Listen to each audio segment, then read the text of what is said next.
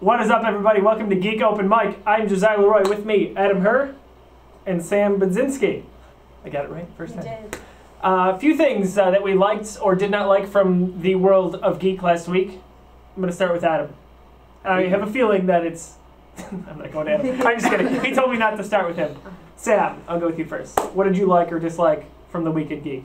Uh, what I like, um, that um, it's Spirited Away's 15th year anniversary. Yay! Yay! How Um, like this? So what they're doing for it is that select theaters in the U.S. will have a two-day um, release of Spirited Away in theaters. So yay! And Hayao Miyazaki is actually coming out of retirement. I think this has been rumored for a while, but it says that he's going to be working on another film. Oh, I'm super pumped. So. very good. I'd be excited. Uh, Pavlak's clearly excited behind the camera. Um, I'll let Adam stew a little bit longer. Um, Eurogamer released a report this week that the Marvel game, the Marvel Telltale crossover, if you will, that's coming out presumably next year is going to be a Guardians of the Galaxy episodic adventure. Uh, if you know anything about me, you know that I love Telltale games and I love Guardians of the Galaxy, so I think that that's going to be awesome. Uh, we've known that a Marvel game is coming for the long, longest time now, at least a, a solid few years. Uh, it would coincide with Guardians of the Galaxy 2, which comes out May 5th of next year. Pretty excited about that. Give me five episodes. I don't care if I'm Star Lord or Rocket or I am Groot. You tell me, or Gamora, you know, whatever. It doesn't matter. Wow, way to be sexist and leave out the girl. I'm wearing her color here, so don't be that guy. it my turn? yeah, just get your turn over with. Your little battlefield. All right. Uh, He has Ebola. Battlefield. I have a bullet. Wow. All right. That escalated quickly. Uh, Battlefield finally gets a patch.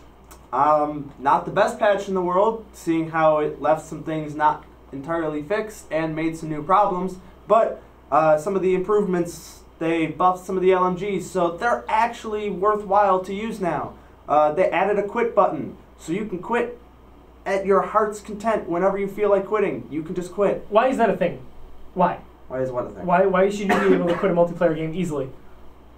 Come on. Because if people need to go to work and they're playing a game, Those people like, need better time management. Yeah, I was Well, that's time true. management. Yeah, I'm one of those people, so shut up and it's not your turn anymore. Dice, get Uh, your crap together, and Adam, you too. Um, and they added the rent a server feature. However, you can't kick people out of your server, you can't ban people out of your server. So if somebody's cheating, well, You just hope they hit that quit button. exactly, exactly. You're basically you're you're hoping that they become good human beings and stop cheating. Can you just send them Um, death threats? yeah. Tell them quit. So If the internet has taught us anything, it's okay to be mean to people. It's a it's a lukewarm they can't find you. Or can they? It's a, it's a lukewarm. Pa- it's like a it's a it's a patch that they put on underwater, so it's kind of slowly falling off. Like a lukewarm pool. Yeah, kind of. no, That's, no, a, no, that's a throwback. There's there'll be a link in the description. Just kidding, not really. Of me and Nick sitting in a hot tub. so messed up. Uh, what was your favorite part of the Weekend Geek? Uh, maybe there's something you didn't like. Adam's kind of uh, in between on one. Yeah. Sam's very excited about hers. I'm very excited about mine. Leave us a comment below. If you like this video, please click the like button. And if you want to see more, subscribe. Thanks for watching.